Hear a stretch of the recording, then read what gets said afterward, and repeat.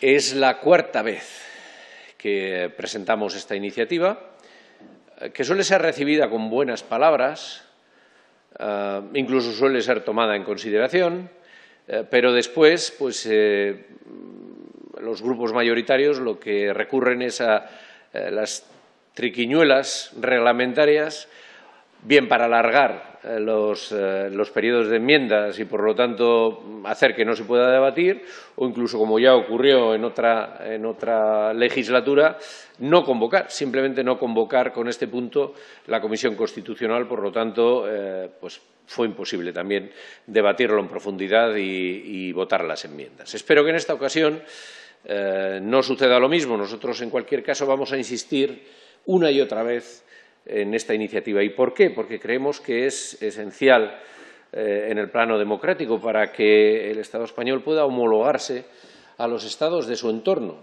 Eh, eh, lo que proponemos, lisa y llanamente, es un sistema de clasificación, de desclasificación por plazos.